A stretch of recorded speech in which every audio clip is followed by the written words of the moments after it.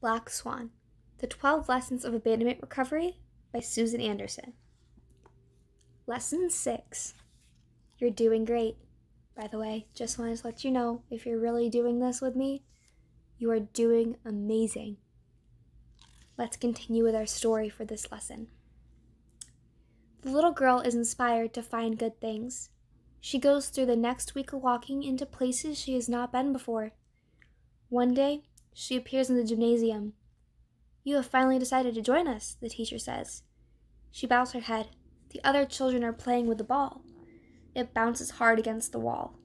She hears the children shouting and holds her hands over her ears as she retreats to the doorframe. She says her name within herself to drown out the sounds.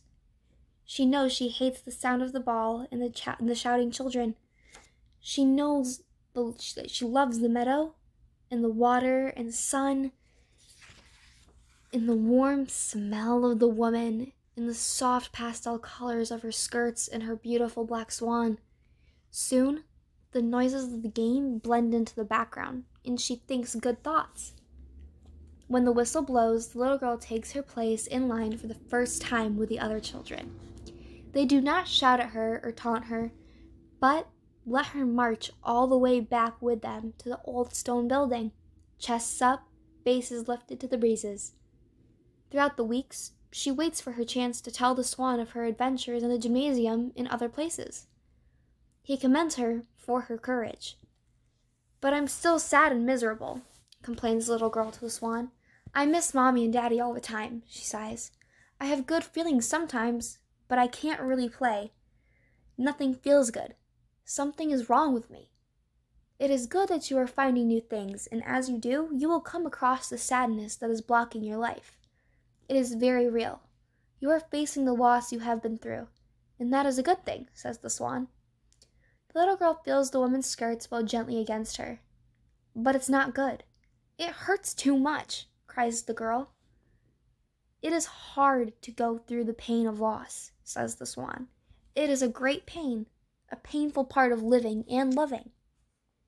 Many people have to go through it, but it makes me feel so bad and I can't do anything. The pain of loss is pulling you out of the moment, Amanda. It pulls hard like quicksand. Its pulls bring powerful pain.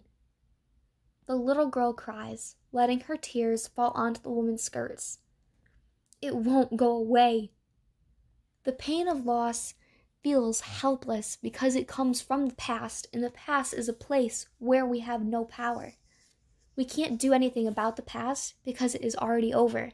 It no longer exists for us to control. But I don't want to live without my family, cries the little girl. Loss is very painful until we cross over. We must cross over from the past to the present, from what we had to what we have. But I miss my mommy and my daddy, and I always will. Yours is a difficult loss to face, Amanda. A difficult reality can only be faced in the sheerest moment. It's too big a job to be done once and for all. That's why the moment is such a special place. But I want Daddy to come back and get me. Wanting and wishing will not bring him back. You can accept this reality or fight it, Amanda. But fighting it keeps you from the pain. Fighting it keeps you in a powerless place filled with sadness. Your moment of life is now. But it is easy for you. You are not afraid, counters the little girl. I have a lot of fears too, Amanda, says the swan, turning in the water. I must face an uncertain future within unfamiliar waters. I know I will never see my home again, and that I may have to die alone without a mate. I must use all of my will to cross over into the, my present life and accept its realities, especially the reality of my aloneness and my strangeness amongst the others. But once I do this, I am filled with the power of existence, able to go on. The little girl closes her eyes and draws in her breath. That's right, Amanda. Take a deep breath and belong to the reality of now. She lets her breath out slowly and evenly. I am alone she sighs. But I don't want to be. It may not be the reality you want, but it is the reality you have at least for the moment. If aloneness is the reality facing you, you must face it back. It hurts, whimpers the little girl. Yes, says the swan. Pain is when the future and the past overlap and squeeze out the present. You must carve out a path between them. You must find the moment. Get into its groove, Amanda, and fill yourself with the life all around you. The little girl takes another deep breath and gazes out across the water, watching her beautiful swan make a full turn and lets her breath out slowly. That's right, Amanda. Breathe in the present and breathe out the past. This is what you must practice.